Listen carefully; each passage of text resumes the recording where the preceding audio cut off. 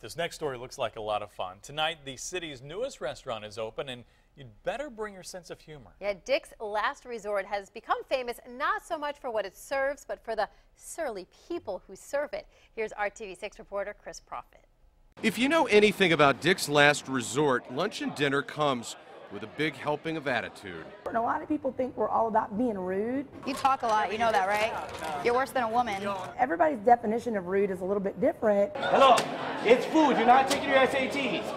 And that's part of the concept for this small but growing restaurant chain that's distinguished itself with its ill tempered servers and a barrage of double entendre. People come in, we make fun of you, you make fun of us. It's very comedy, self deprecating, fifth grade humor, pretty much. When your hat looks this dirty, no one's gonna think it's new, dude.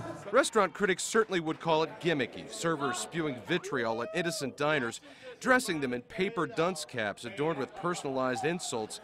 But Dick's Last Resort isn't for food critics. I'm gonna do you a favor, I'm gonna cover his face up. So, so you know, I want y'all to enjoy your meal. It's hard to enjoy your meal looking at this guy. Look at that hair. All right. Or now, or now. I like you already. It's not, your hair is not going anywhere. The downtown Indianapolis restaurant is the Nashville based company's 13th location.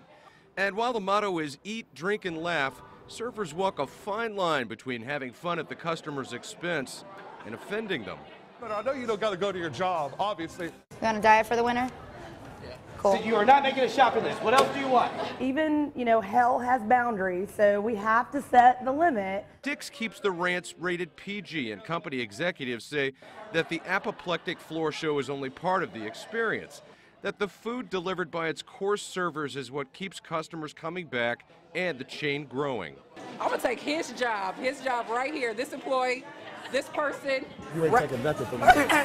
So, welcome to the city's newest restaurant. Better not annoy me. Ah, Baltimore Ravens on fire! It's been really entertaining and funny. And you'd better bring a sense of humor.